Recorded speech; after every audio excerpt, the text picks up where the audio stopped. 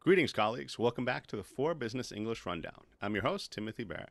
Today we're dialing in for an electrifying session on mastering telephoning in English.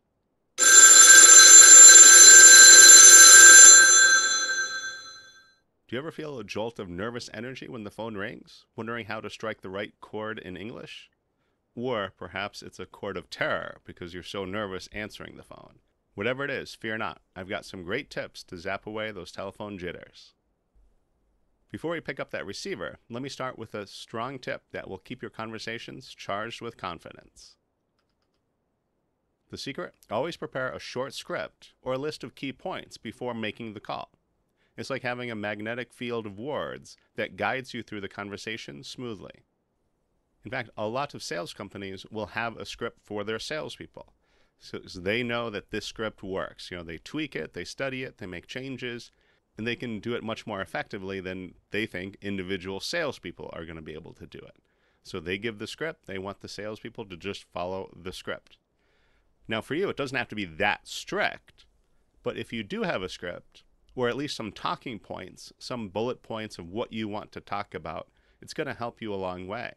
If you are a little bit nervous when you answer the phone or you make the, the phone call yourself, by having a little list of things that you need to talk about, maybe some issues that you want to bring up or questions you want to ask, or answers to questions that you anticipate, it's going to help with your confidence level to make sure that you've thought about all of those things before the phone call even starts. So preparation, like anything, is key. But let's keep going. This is Business English Telephone Calls, tips for clear and professional communication.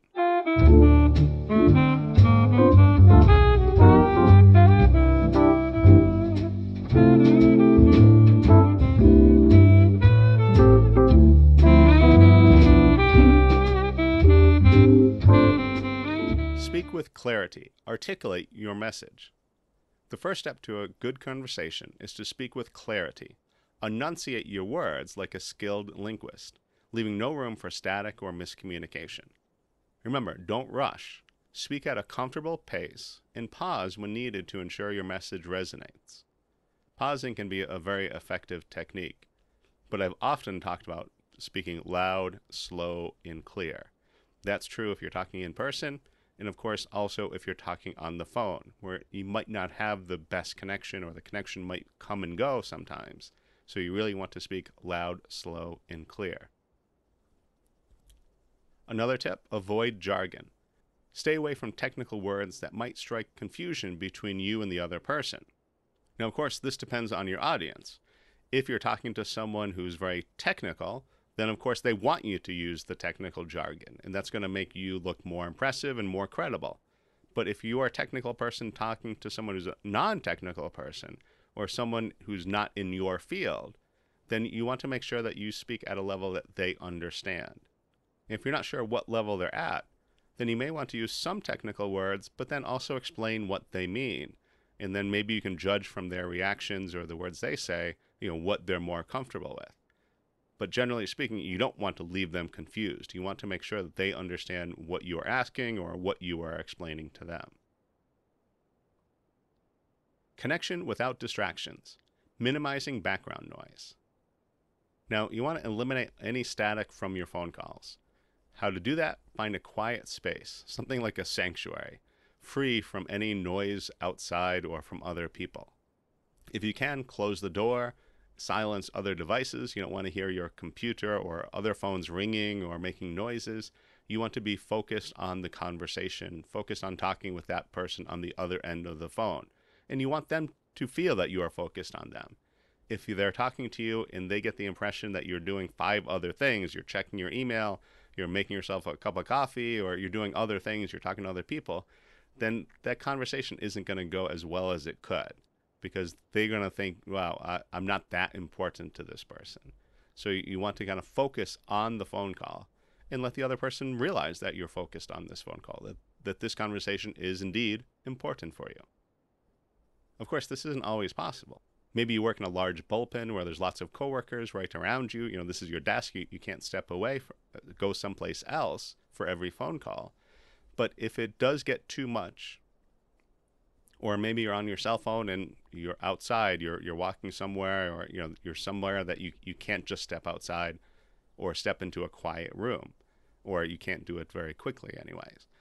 You may want to explain that to the other person. You know, I, I can hear you, but I'm in kind of a loud place. I hope that you can hear me. If you prefer, we can reschedule this. I can call you back, you know, whenever is possible, you know, in, in 10 minutes or in an hour or tomorrow, you know, whatever is feasible. But you can kind of give them that option. And that also shows that you care about their wants and needs and they might say, "Oh no, I can hear you fine. I've got a quick question. You know, no, as long as you can hear me, let's just just get it done right now," which can be great. Or maybe they have a very in-depth conversation that they want. Maybe they got a lot of questions, and maybe they can't hear you that well. So, if they can't hear you well, or you can't hear them that well, then it's going to be kind of a, a rough conversation. So maybe it's better to, to reschedule. And then at least you're giving them the option. The ball is in their court, so to speak. Active listening. Engage and respond. Active listening is the thunder and lightning of effective communication. Be an attentive listener in drawing in every word that your caller says. So take notes if necessary, especially if there are some kind of numbers or details involved. You know, how many they're ordering, what is the price per, per item or the total price or what model number is it. Those types of details sometimes get lost in our memory so it's important to write them down as you're discussing it. And that can be help very helpful that you don't make mistakes later that then have to be corrected. Another secret is to echo back key points to show that you're engaged and that you're listening. This can also make your caller feel valued. Especially if, again, if there are numbers, if there are details, if you echo them back, you repeat, okay, you're paying, you know, X dollars, you're buying Y, uh, units at, of model you know Z, then it gives them a chance to make sure that you're both on the same page. Maybe they got it incorrect. Maybe they messed up one of the numbers when they were reading it to you. So now is their chance to correct it, or at least now you both agreed. Okay, these are the numbers that we we we discussed, and now we'll go ahead with the order or whatever it is. So it's a good chance to correct a mistake one last time. And then if there is a mistake, you know you can feel a little bit more confident that it wasn't on your end because you did confirm the numbers. You know you did read them back before you submitted the order or whatever it was. So it's a good good safety feature. Essential phrases for business phone calls. Effective communication on the phone is a crucial skill in the business world let's explore five key phrases that will help you navigate phone conversations with clarity and professionalism confirming information it's often important, as we just talked about, to confirm information. You know, it could be a time, it could be money, it could be numbers, whatever it is.